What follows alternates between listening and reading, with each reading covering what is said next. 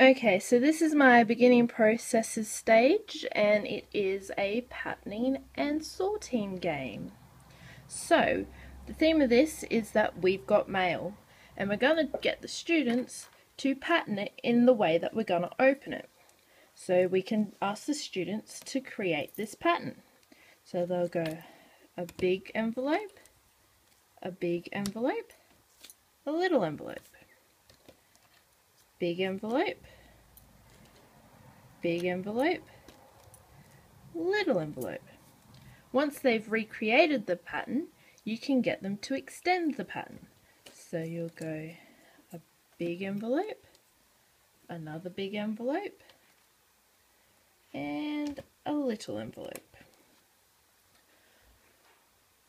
So they can pattern it in many different ways. You can also sort the envelopes in terms of how you're going to open them. So we're going to, you can get the kids to sort them in terms of their size, whether they're a big envelope or a little envelope.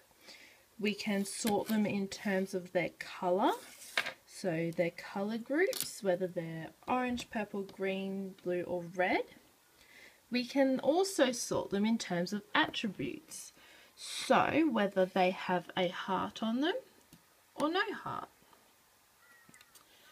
And we can also sort them in terms of whether they're big with a heart or little with a heart or big with no heart and little with no heart. Just depends how you want to sort them. There are many different ways.